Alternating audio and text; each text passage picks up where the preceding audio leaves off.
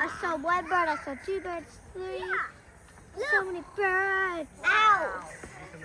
Big enough to wrap around that egg to break it. She's figured out another way in though, by using a tool she can find in the wild, which is a rock. So when she finds an emu, egg she is looking for a rock, picks it up in her beak, carries it over, lines it up, and uses that to smash that emu egg. Thank you, yeah, she can have a round of applause for that, that's great. So she's using that rock as a tool to break